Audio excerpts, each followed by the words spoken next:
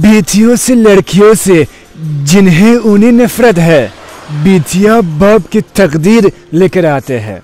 हर धर्म में चाहे हिंदू हो, मुस्लिम हो, क्रिश्चियन हो, फारसी हो, हर धर्म में यही मैसेज देते हैं कि लड़की, बेटी बाप की तकदीर लेकर आते हैं। जब घर में बेटी पैदा हो जाते हैं, वो घर में मालिक की बरकत आता है। और वो उनके हब्बू का रिस्क रोजी डबल हो जाते हैं, जिसके घर में बीतिया पैदा हो जाते हैं। उसको निराश नहीं होनी चाहिए। बीतिया मालिक की रहमत है।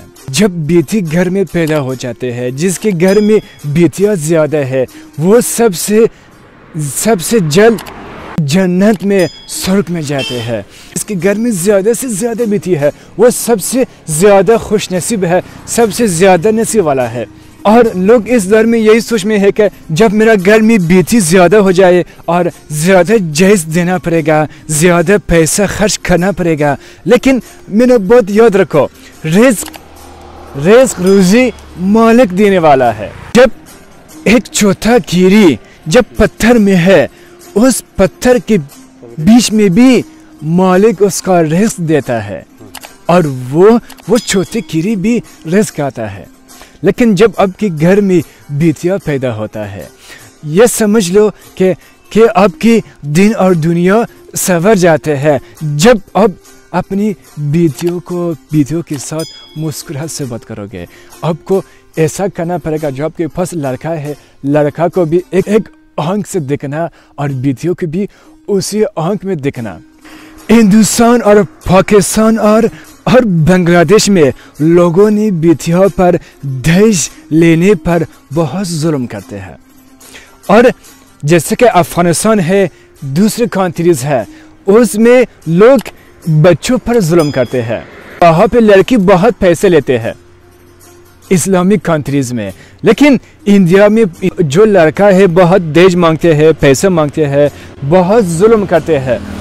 अपनी बच्चों को नहीं भेजने चाहिए पैसे के बदले में। और जो लड़की है, उतना पैसा कहाँ से लाए? सब लड़कियों के बाप तो अमीर नहीं हो सकते हैं। लड़का जो है, जॉब कर सकते हैं, वजीफे कर सकते हैं, ज़्यादा से ज़्यादा, और ज़्यादा से ज़्यादा जो लड़कियों है, जॉब ही नहीं करते हैं। वो उतना पैसा, जो बड़ा बड़ा दहेज है, ये इतने पैसा है, वो कहाँ से लाए? जुल्म नहीं करनी चाहिए है, और ज़्यादा से ज़्यादा कोशिश करें कि सबकी शादियाँ हो जाए, और जब आपके घर में बेटियाँ पैदा हो जाते हैं, कोशिश करो कि निराश नहीं होना।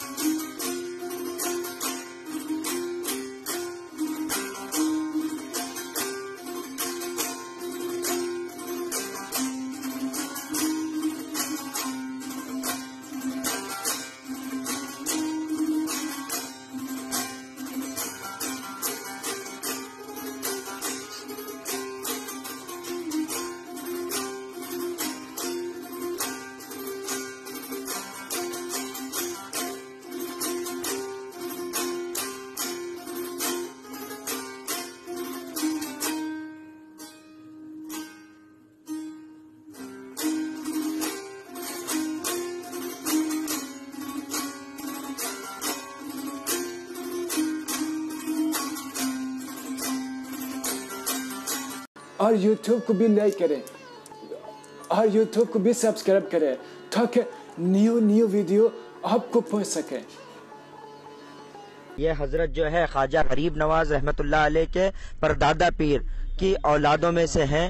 और जैसा ख्वाजा गरीब नवाज़ के पीरो मुर्शद ख्वाजा उस्मान हारवानी और उनके पीरो मुर्शद हज़रत शरीफ जंदानी और उनके पीरो मुर्शद ख्वाजा अबू मौदूद चिश्ती रहमत की औलाद और इमाम हुसैन सलाम की औलादों में आपका नसब है। और सरकार का पूरा नाम जो है हज़रत ख्वाजा जरीफ चिश्ती सरकार और हिंदुस्तान के खास मैं ये बताऊँगा कि हिंदुस्तान की सरजमी के लिए ये बाईस बरकत है। क्या वो चिश्त घराने के पहले बुज़ुर्ग ख्वाजा गरीब नवाज़ का फैज हिंदुस्तान में जारी और सारी है? आज भी और ऐसी ही वो चिश्त घराने के फिर बुज़ुर्ग हमें अता हुए और हमें फिर ये समझो कि हजूर नबी करीम वसल्लम की तरफ़ से ही दूसरे बुज़ुर्ग हमें अता किए गए। तो हज़रत ख्वाजा जरीफ चिश्ती हमारे हिंदुस्तान में आपकी आमद हुई और हम हिंदुस्तान के और भाग जग गए हैं। और किस्मत बुलंद हो गई है कि दूसरे खानवादा रसूल के फर्द हमारे हिंदुस्तान के अंदर आए हुए हैं। अरकद में मुबारक उनके लगे हुए हैं और हम गुनागारों की तकदीर सवर गई।